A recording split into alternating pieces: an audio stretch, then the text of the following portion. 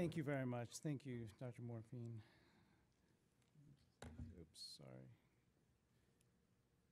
Well, good morning. Thank you very much for uh, the invitation. Um, you know, when when I mention when when I say incremental hemodialysis, I think everybody has different ideas. Uh, we oftentimes think about dialysis done less frequently. We sometimes think about dialysis uh, done for a shorter period of time per treatment.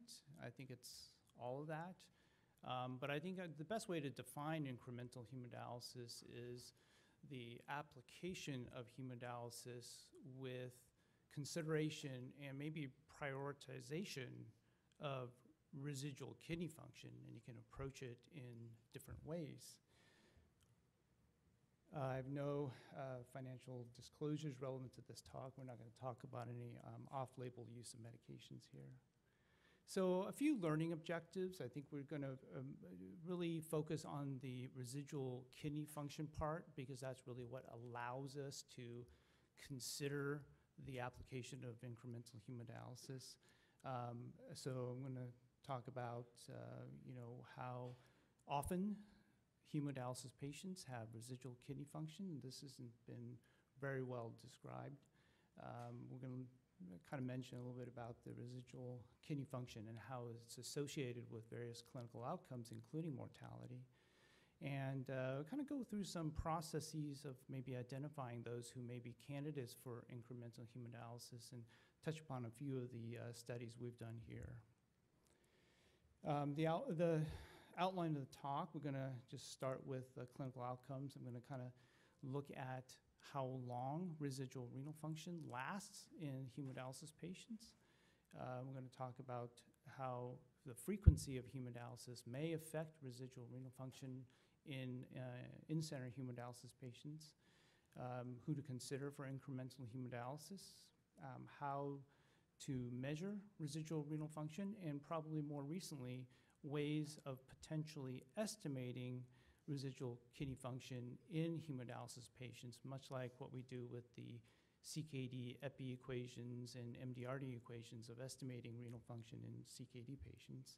And I'm going to uh, touch upon the challenges of uh, prescribing incremental hemodialysis. Um, as many of you know, um, about 40% of uh, incident hemodialysis patients start with an estimated GFR of uh, greater than 15%, uh, uh, somewhere in the, in the 10 to 15%, I should say.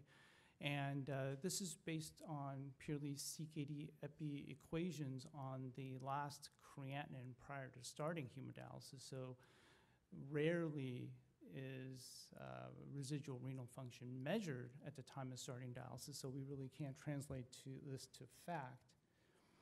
Um, if you look at some of the um, prospective uh, observational studies, the CHOICE study random, uh, um, uh included uh, over 700 patients recruited from the mid 1990s to late 1990s, followed for five years. This was a U.S. hemodialysis population from 19 centers around the country. Um, and uh, at incident dialysis, uh, the patients were, sorry, patients were asked one question. They were asked, do you make more than one cup of urine a day? Meaning greater than 250 cc's? And a yes or no answer to that question. It's a self-reported answer in that not all patients had urine volumes measured. And uh, based on that, they were classified as having residual uh, renal function or not. Um, at time zero, even though there was a trend, there was no uh, significant difference in mortality given that. Now, at one year's time, the patients were asked that same question and then reclassified. And based on those that did answer that they did have more than one cup of urine output, they had a lower all-cause mortality. Uh, a subset of these patients, uh, about 300 of the 700, actually had urine volumes measured. And of, of those who said that they made more than a cup of urine a day, the median urine volume was 720 cc's. And for those who said that they made less than a cup of urine, which is about 250 cc's. The median was 420 cc's. So patients are really not very good at estimating how much urine they actually make. So we may need to actually do formal measurements. And I think another important part of this study was at incident hemodialysis, about 80% of patients starting hemodialysis said that they had residual renal function of greater than 250 cc's a day. So we can look at another uh, prospective uh, cohort of uh, incident hemodialysis patients. This is from the Netherlands. And uh, the important finding here is that they, all patients had residual renal function measured, formally measured. And for all levels of decreasing levels of residual renal function, there was a higher relative ri- risk of death. So residual renal function was really important. And in patients that had any degree of residual renal function, applying more dialysis clearance was not associated with mortality. You may wonder why those patients with no residual renal function actually had lower mortality with more hemodialysis. Was because if you actually look at the details of the study, um, a big proportion of those patients with no residual renal function were well underdialyzed given present standards.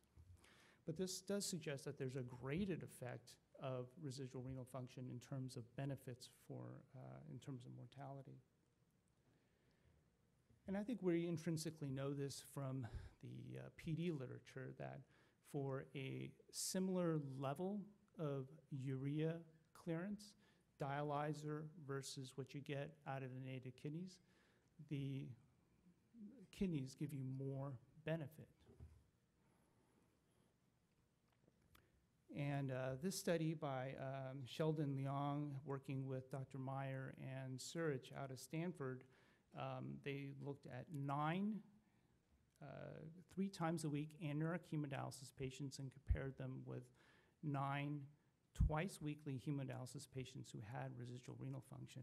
And they focused on some of these more protein bound, poorly dialyzable solutes. And to interpret this, um, they took the uh, solute removal of these substances that were removed and measured their dialyzer clearance and normalized it to the amount of urea removed by, by uh, the dialysis and similarly did it for residual renal function. And how to interpret this is, for example, for hippurate, you only get about 50% of the clearance that you get from urea clearance with the dialyzer. And we can compare this, for example, for hippurate, the um, native kidney removes eight times as much hippurate as it does urea removal. So there are clearly things that are important from an excretion perspective of the native kidneys that the, that the uh, artificial membrane cannot do. And some of the other uh, associated benefits of residual renal function in hemodialysis patients include better electrolyte control, fluid gains, lower ESA dosing required to obtain the same level of hemoglobin, better vitamin D metabolism, lower uh, levels of inflammatory markers, and overall, patients are um, reporting better uh, self-reported quality of life. So none of this probably matters much if residual renal function goes away in the first month or two of hemodialysis. Um, so what do, what do we know about this in terms of the durability of residual renal function in in-center hemodialysis patients? Well, we can get some information from what we know from the peritoneal dialysis literature. Um, the Canada USA study um, uh, looked at incident peritoneal dialysis patients, and the kind of highlighted region looked at the um, standard weekly Kt/V from residual renal function, and there was a a steady decline over the course of the two-year follow-up, and you lost a little bit over half of residual renal function in these PD patients uh, over the course of two years. And in some um, retrospective studies, for example, this one out of University of Missouri, uh, looking at 100 hemo, in-center human, incident hemodialysis patients, and looks like that one, there we go. And then looking at uh, 40 in-center hemodialysis patients with residual renal function measured, the uh, loss of residual renal function appeared to be uh, appeared to occur at a higher rate for those on uh, in-center hemodialysis. But is this universally true? Again, if you look at the Netherlands study where residual renal function was measured longitudinally in these incident hemodialysis patients, you can see that um, about 90% of patients had residual renal function at three months. And similarly, at about two years, about half of patients uh, seem to have lost their residual renal function.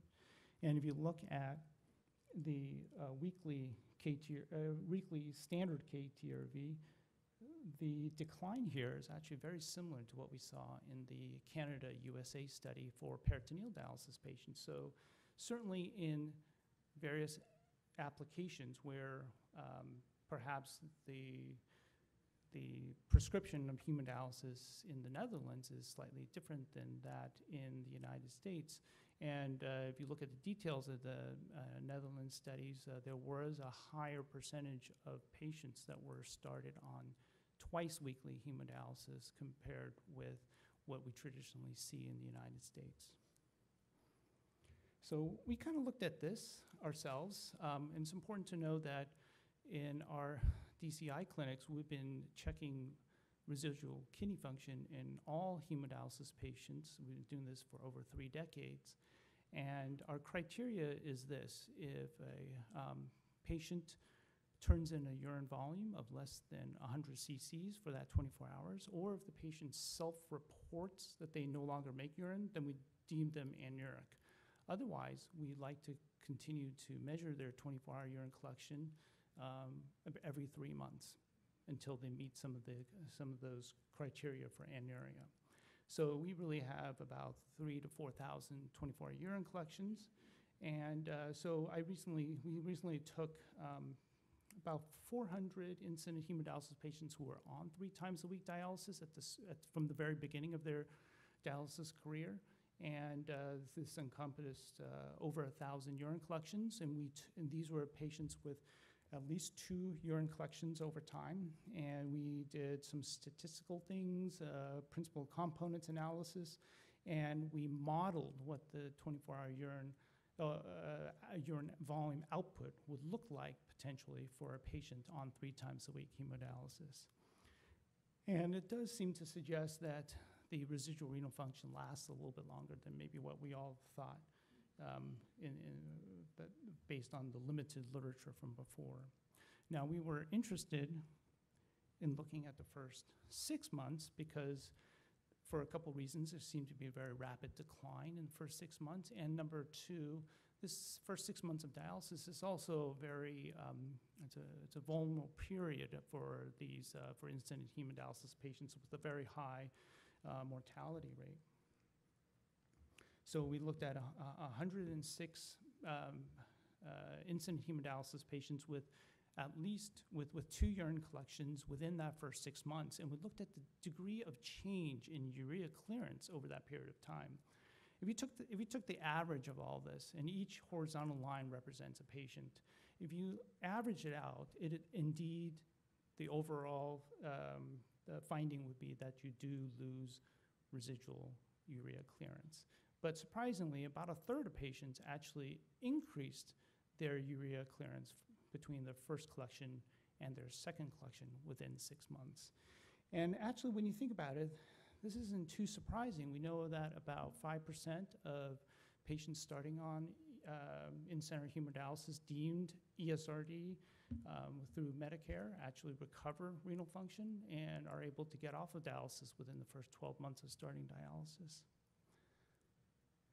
And uh, Ann O'Hare looked at a cohort of uh, VA patients and looked at the, the pattern of change in renal function prior to starting dialysis, and she found a, um, a group that uh, seemed to have a very rapid decline in renal function prior to starting dialysis, and oftentimes starting dialysis at a much higher estimated GFR than the average individual.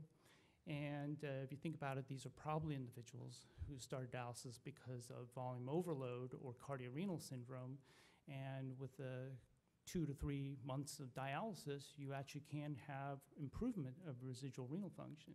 So this informs us that perhaps the moment that insulin patients start hemodialysis may not be the perfect time to check that residual renal function and make a firm determination of what their residual, residual renal function really will be, um, but to continue to be vigilant about it over the first six months of dialysis. So if uh, residual renal function in hemodialysis is associated with so many important positive outcomes and may seem to last a little bit longer than what we all thought, um, what can we do to keep that residual renal function going? Um, most of these are perhaps strategies or ways translated from how we take care of CKD patients. Um, it's a lot of it is observational, some of it is anecdotal, and uh, much of it is probably speculative. Um, but what we know is uh, renin angiotensin system blockade is associated with uh, longer lasting residual kidney function in peritoneal dialysis patients, and there is some hint that it's true for hemodialysis patients as well. Um, uh, uh, kind of theoretically, we would want to minimize toxin exposure to patients that have residual renal function, even if they have started dialysis. Um, and the last three, the biocompatibility of dialysis membranes, exposure to clean water, and avoiding volume depletion or hypotension may be relevant as we look at the frequency of hemodialysis and its potential effects on residual renal function. So uh, we can first get an idea of potentially what increasing the frequency of dialysis affect, how it may affect residual renal function by looking at the frequent hemodialysis network trials. Remember, there were two arms, conventional treatment versus daily in-center. And in that uh, daily in-center, they had about five treatments a week versus three for the conventional. And then the second arm was uh, the conventional thrice weekly uh, compared with frequent nocturnal dialysis. Again, also about five treatments a week compared to about three treatments a week. Um, importantly, the uh, majority of patients in the conventional versus daily in-center um, did not have substantial residual renal function, but majority did have residual renal function in the conventional versus frequent nocturnal um, arm of the study. So what were the outcomes? Um, the uh, frequent in-center versus conventional uh, thrice weekly hemodialysis, while there was a loss of residual renal function in both groups, it was not statistically significant. Um, but remember, there was a majority of patients did not have some significant residual renal function in that arm. Uh, if you look at the um, frequent hemodialysis, frequent nocturnal group versus conventional hemodialysis, there was a um, greater decline in residual renal function in the frequent nocturnal group than in the conventional hemodialysis group. Remember, majority of patients in that arm of the, uh, the uh, study did have substantial re residual renal function at the start of dialysis. So while it, you, we can't say for sure, excuse me, um, what to make of this, um, there is pot potentially a hint that uh, more intensive hemodialysis, however you want to describe that, uh, may be associated with more rapid loss of residual renal function. We really don't have much other data to go by. So is the opposite true? If we do less than three times a week dialysis, is it associated with better preservation of residual kidney function? And I think the best answer is we really don't know. Um, but um, uh, Dr. Obi in, um, from Kam Kalantar's group down in UC Irvine recently did this study. They took, um, they looked at the, through the DaVita database, they looked at uh, um, incident hemodialysis patients that had residual renal function who lived for at least 12 months. So they took so, somewhat of a more healthy cohort of incident hemodialysis patients. Um, and uh, they started with 70,000 incident hemodialysis patients, 24,000 lived for at least 12 months. And out of that, they were only, and, and they needed patients that had residual renal function measured. Out of that many patients, they only identified 351 patients that were started on twice weekly hemodialysis with residual renal function. So I think that tells you how infrequently this process is done in the United States. And they did, um, they did some really nice um, matched controls to identify in an 8,000 patient cohort of conventional thrice weekly hemodialysis population who also had longitudinal residual renal function measured. And the, uh, there was, uh, there, both groups started at a similar level of residual renal function, and the um, incremental or the twice weekly hemodialysis groups seem to have lost residual renal function at a slower rate than those that were on um, conventional three times a week hemodialysis. This is all retrospective. This was a cohort from 2007 to 2010. So it, it gives us a hint. It doesn't really um, give us a conclusion about this, about this idea that less frequent is associated with um, slower decline, but I think the I think the, the the signal is there. So, what do we know about actually doing twice a week dialysis and patient outcomes? Well, we know even less. so um, uh, this is DOPPS data. Remember, DOPPS data looks at prevalent hemodialysis patients, not incident patients, so we have to take that into account and we look at the various countries. And uh, if you look at that very, very bottom dark bar, that's the percentage of patients that are starting, uh, that are on less than three times a week hemodialysis. And we're talking about 3% in the United States, even lower in some of the other countries. Um, um, China and actually India, in some recent publications, have a very high percentage of patients that are on twice weekly hemodialysis. But what we know is residual renal function is not measured in any of those um, uh, countries or in, this, in, the, in the published studies. And a lot of the twice weekly hemodialysis patients are on that schedule born out of financial issues and not necessarily based on clinical reasons. So if you look at what is out there in terms, and all this is retrospective data. Um, if you look at what's published in terms of um, clinical outcomes in incident hemodialysis patients started on twice weekly, and all retrospective, um, it paints perhaps a little bit more of a cautionary tale. Uh, if you look at the study out of the United States, there was no difference. If you look at the study out of China, there was no difference between twice versus three times a week hemodialysis patients. If you look at the study out of Lithuania, um, lower levels of um, lower frequencies of hemodialysis was, was associated with increased mortality. These are purely observational retrospective studies, so we really um, can't conclude anything based on this. Again, this is out of uh, Dr. Obi's study using the DaVita database and that same cohort, uh, the same matched cohort and um, they did not find um, a difference in mortality after following up for, uh, uh, for about five years in the twice weekly versus three times a week incident hemodialysis patient start populations. So who should be considered if we are to approach the start of dialysis with this idea of um, considering residual renal function?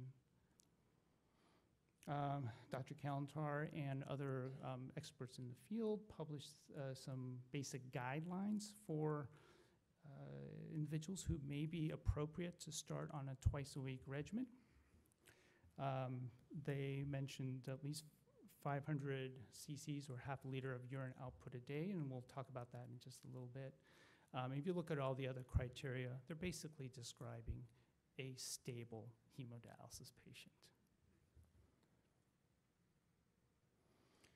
So we were wondering, um, well, if we looked at all our incident start hemodialysis patients, especially since we have residual renal function um, data on uh, all patients who are willing to return urine to us, um, uh, how many of these three times a week start patients could have theoretically started twice a week and have done reasonably well?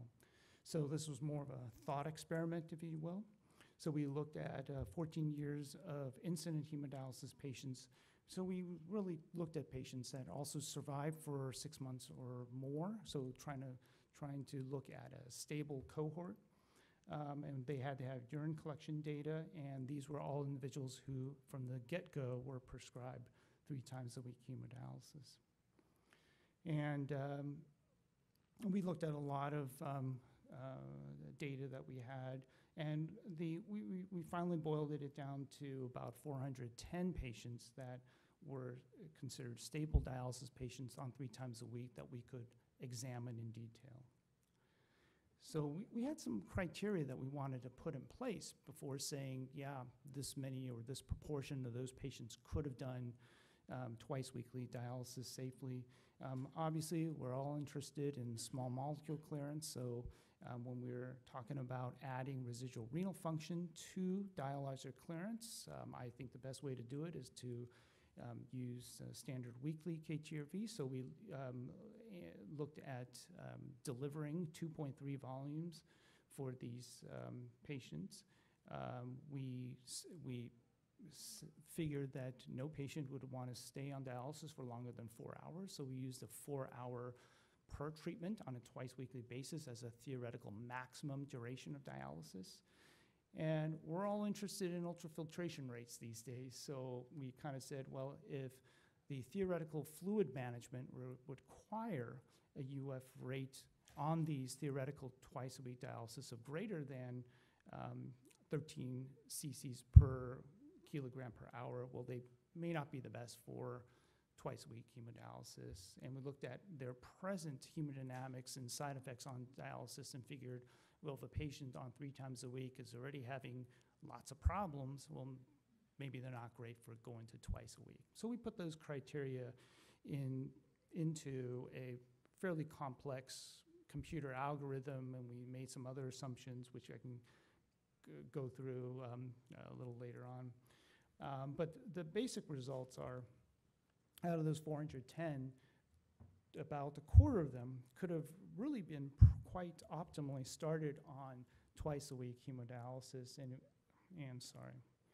And uh, if you look at what the uh, residual renal function was, um, the group that was optimal had essentially a standard Kt/V of one, which is kind of about half of what you would minimally like them to get anyways uh, um, on, uh, for their total weekly clearance um, the group that was appropriate was able to uh, achieve adequacy, and we kind of estimated if they were on twice a week dialysis for the optimal group, they would just need two hours of treatment twice a week to meet the uh, small molecule clearance goals. The group that was appropriate but had some limitations due to ultrafiltration um, would need about a three hour treatment and still be well within the parameters of small molecule clearance. And even those that were not ideal um, would probably have done okay if they were on in-center nocturnal dialysis twice a week, but they would have required over six hours of treatment to achieve small molecule, adequate small molecule clearance. And I should note that the, um, the middle column, the appropriate for two times a week dialysis, was mostly limited by the ultrafiltration rate. If you look at the bottom row, um, only about half the patients would have theoretically been able to get below that 13 cc's per kilogram per hour of UF. But we also noted that only 40% of these patients were actually on, on diuretics. So diuretics were well underused and could have pushed some of these patients to um, being probably optimal for twice weekly. So, so when we looked at it, about half of patients clearly had um, adequate small molecule clearance to be able to do twice a week hemodialysis with some limitations in, a qu- in, in half of those um, uh, due to volume control. Now, I'm going to touch a little bit about measuring versus estimating residual renal function. All our urine data is measured, and we mostly do a 24-hour urine collection. I think if you were to get to, to try to figure out the best way, I would suggest a long urine collection in the entire interdialytic period, but uh, that's very impractical. So most studies have looked at residual renal function have done either a 24 or 48 hour urine collection. Um, how it's done is pretty straightforward, actually. They, you ask the patient to collect the urine, you hope they do it right. Um, they bring in the urine, the um, lab technician takes the urine and puts it through a graduated cylinder, records the volume, sends off an aliquot for urea or creatinine. The tricky part is actually determining what blood urea nitrogen level to use to calculate the clearance. Remember the whole UV divided by P equation. Um, and there are some adjustments that you can make um, for that pre-dialysis BUN to make it appropriate for that particular urine collection. And it depends on both the duration of the urine collection as well as which interdialytic period you've done the urine collection. I won't go through that. That's sort of a topic of itself. Um, so it's not, it's not, it's collecting and measuring residual renal function is not terribly expensive because the only additional lab test is the sending out the 24 hour, the aliquot of urine out to the lab. Um, it does involve a little bit more process changes within the dialysis unit, and just have to buy a graduated cylinder. Um, but, but, but it does add a degree of hassle, a degree of extra work in an already busy hemodialysis unit. So many investigators have looked at ways of estimating residual renal function in a hemodialysis population. And uh, this group out of the UK looked at uh, uh, traditional markers like urea and creatinine, but they also looked at some non-traditional markers like beta 2 microglobulin, and cystatin C.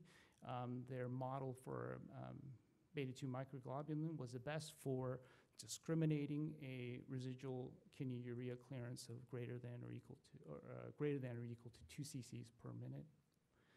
Um, Dr. Shafi out of, um, out of Dr. Coresh's group in Johns Hopkins um, published this a few years ago, and they also used some non-traditional um, serum markers to develop their models. They looked at uh, cystatin C, beta trace protein, and beta 2 microglobulin and uh, they had a reasonable uh, area under a curve, the best one for their combined beta trace protein and beta 2 microglobulin model. So we, we th thought, well, you know, these kind of uh, non-traditional biomarkers would be additional blood test, additional cost. You know, we, we were not so sure that it would be practically implementable. Um, so since we had so much urine, we developed some models of our own. So we looked, we uh, using 400 patients and their incident hemodialysis patients and their urine collection within the first three months of dialysis, we developed some models. I have to kind of um, give credit to uh, Dr. Heejung Bang in the uh, Department of Public Health for, and she's very, very um, experience with model building, and she spent she and I spent a lot of time building these models, and we used essentially factors that you could easily get. For our model one was simply using urine, urine um, volume alone, knowing what the 24-hour urine volume was. Uh, model two, which we predicted to be our best, would use urine volume and a bunch of kind of readily available clinical factors. And the model three is what, where we figured, okay, if, if you're not going to even collect urine, well, what can you, what, if you use other basic readily available clinical factors, how well can you predict what the residual urea clearance is?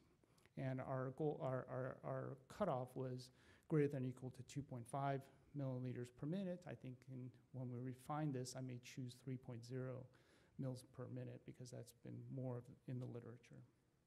So how do these models do? We validated it in uh, 206 um, different unique patient uh, and urine pairs. And uh, these were also incident hemodialysis patients. And uh, our urine alone volume actually gave a pretty good um, area under curve for, uh, for discriminating urea clearance of greater than 2.5. Um, our best model was kind of what we would predicted.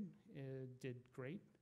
Um, and even our model that did not use the 24-hour urine collection did reasonably well as a potential screening tool.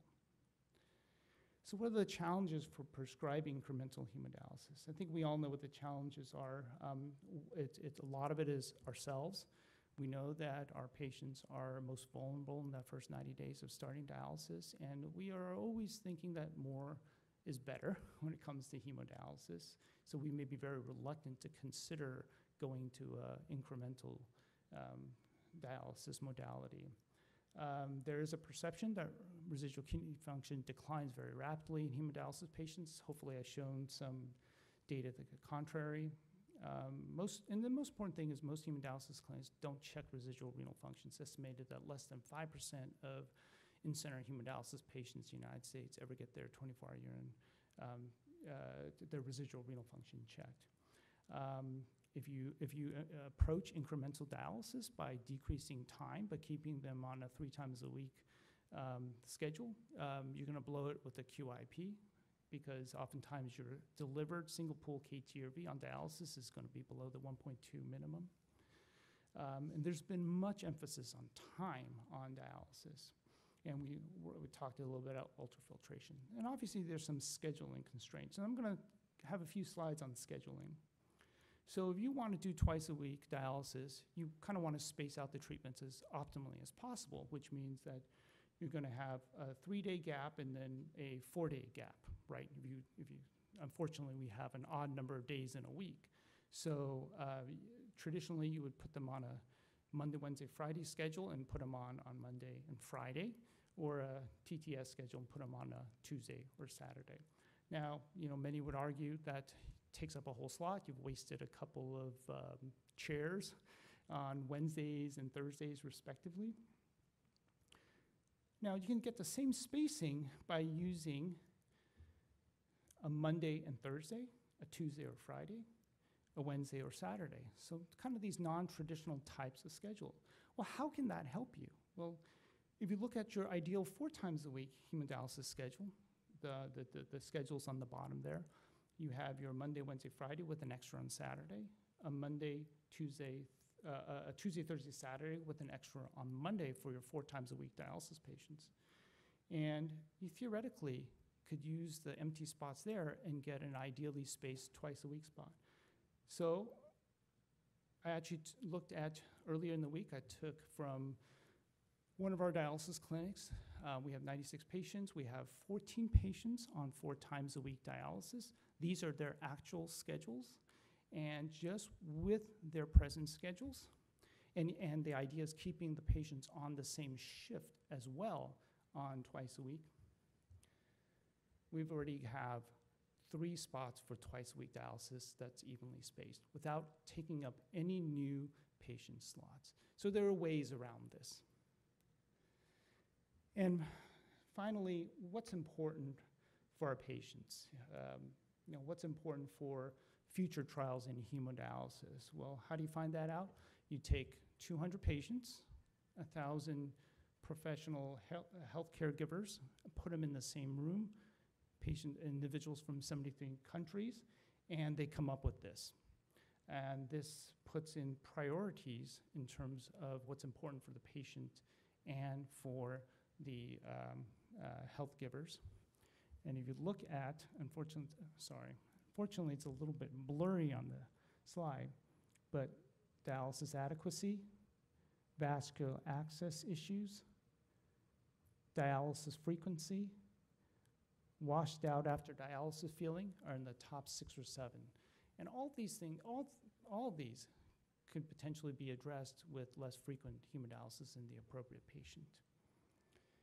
So conclusions, very few incident patients um, get uh, residual kidney function evaluated, and I think we can do better. Um, uh, we've kind of approached the target adequacy as a fixed target rather than a variable target, and I think we should look at a variable target because we know that for a given cc per, uh, per minute of dialyzer clearance versus residual kidney clearance, the residual kidney clearance is worth tons more. And um, incremental start in uh, hemodialysis patients, in appropriate patients, um, needs to be more thoroughly reviewed. So um, last thing I want to say is dialysis should be, we talk about prescribing dialysis, so we should prescribe dialysis like any other medication that you have to look at the dose and frequency of that medication that to be appropriate for that patient's clinical scenario. This is the number of new publications in, um, with the keywords residual kidney function and hemodialysis over the past few years. Thank you very much.